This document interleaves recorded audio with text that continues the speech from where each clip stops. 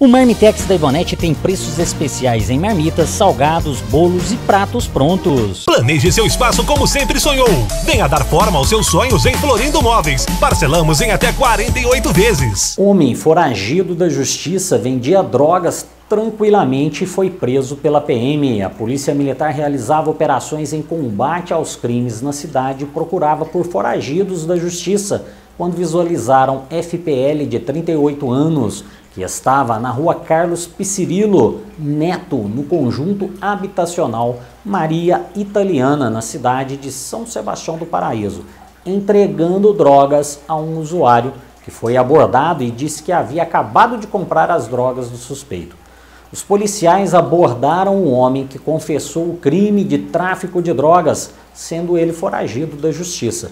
Durante buscas na residência do traficante foram localizados aproximadamente 240 reais em dinheiro e em um embrulho estava 11 papelotes e uma bucha de 10 gramas de cocaína, mais 110 reais em dinheiro separado, um tablete de maconha de aproximadamente 70 gramas e celular. Segundo o suspeito, ele estaria vendendo as drogas e também consumindo. Diante aos fatos, o suspeito foi preso e encaminhado para a delegacia de polícia civil, juntamente com as drogas apreendidas. Quer saber tudo o que acontece na região? Procure nas redes sociais MacGyver TV. A lâmpada do poste em frente à sua casa está queimada? Não deixe sua rua no escuro. A Prefeitura realiza a troca da lâmpada gratuitamente. Solicite agora mesmo o serviço através do telefone 0800 276 0219.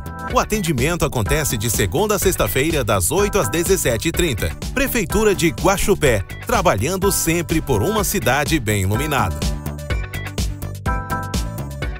Chegou a hora de vacinar-se contra a gripe. De 10 a 31 de maio, nossos postos de saúde que possuem sala de vacinação estarão abertos para lhe atender. Mas atenção!